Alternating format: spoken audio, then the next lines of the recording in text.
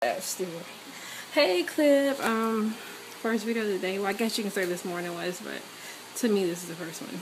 Um, just want to say thank y'all for understanding the whole salt ice thing. I mean, some say it doesn't burn, but to me, I think it's dangerous. That's just my opinion. Um, and I do believe it burns your skin. I've seen some of the videos, and the skin look burned to me. But at, at, at the end of the day, if something's gonna possibly burn you, then it's not worth doing.